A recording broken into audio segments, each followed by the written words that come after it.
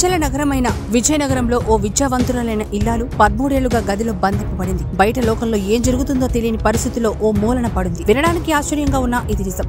Vizianagaram Balaji complex వద్ద ఉంటూ న్యాయవాదిగా చెప్పుకుంటున్న మధుసూదన్ అగ్నిసాక్షిగా సుప్రియను పెళ్ళి చేసుకున్నాడు. వీరికి ముగ్గురు పిల్లలు.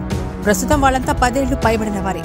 పదమూడేళ్ళుగా భార్యకు బాహ్య ప్రపంచం ఏంటో తెలియనివ్వకుండా బంధించడని వెలుగులోకి వచ్చింది. ఇన్నాళ్ళ తర్వాత సుప్రియ కన్నవారి ఫిర్యాదుతో ఆ ఇల్లాలు నరక కూపం నుంచి బయటపడింది. పవిత్రమైన న్యాయవాద వృత్తిలో ఉన్న ఓ వ్యక్తి తన వృత్తికే కళంకం తెచ్చాడు. తన తల్లి సోదరుడు మాటలు విని ఏకంగా పదకొండు సంవత్సరాల పాటు తాళికట్టిన భార్యను ఇంట్లో బంధించి బయట ప్రపంచానికి దూరం చేశాడు.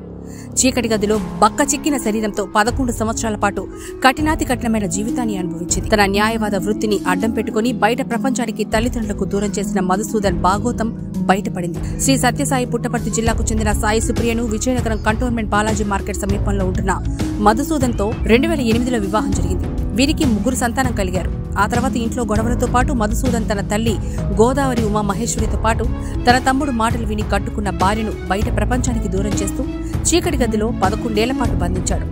బాధితురాలు కుటుంబ సభ్యులు ఎన్ని మాళ్ళు ప్రాధేయపడినా మధుసూదన్ తన వృత్తిని అడ్డుపెట్టుకుని బాధితురాలు కుటుంబ సభ్యులను బెదిరించేవాడని తేలింది. దీంతో ఆ కన్నవారు తమ కూతురు భవిష్యత్తును దృష్టిలో పెట్టుకుని మాటలు మాట్లాడలేకపోయారు. దిక్కుతోచని స్థితిలో పడ్డారు.